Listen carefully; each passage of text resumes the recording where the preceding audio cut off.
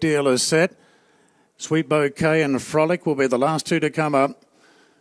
Frolic well in the market is the second favourite. Okay, Nicky's Gold is set and uh, Frolic in and the light is on. And we're all set now in the Inglis Classic, 1200 metres. And they're off and racing, and Sweet Deal jump well suited. Junction wide out, frolicking contrast is being taken back. Nicky's Golden Fire Stoker is showing plenty of speed, and Fire Stoker is going to race to the early lead.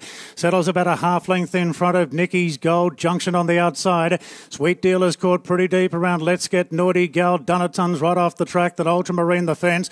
They're followed further back by Monopoly. Uh, pretty deep out is Sweet Bouquet, followed by Bull Market San Marco. Frolic is last last would only about be about five lengths off the leader. They're tightly bunched coming to the turn.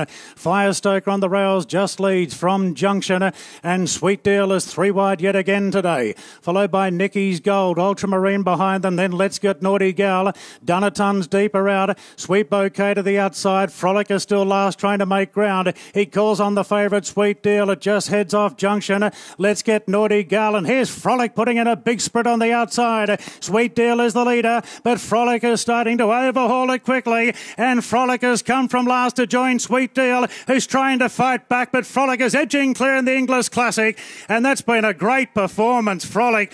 Boy, the owners will get some bang for their buck with this one. It beats Sweet Deal, and let's get Naughty Gal a distant third followed by Bull Market, then Junction, further back to Nicky's Gold, Sweet Bouquet, Ultramarine, Dunaton, Monopoly, San Marco, and the early leader Fire Stoker compounded to finish last. Frolic, trained by Michael Freedman, handled by Tommy Berry. Well, hasn't she cut loose with a great run? She's a filly by Husson. They paid a hundred grand for it, the Inglis sales, and Tommy Berry pretty pumped about the win as well.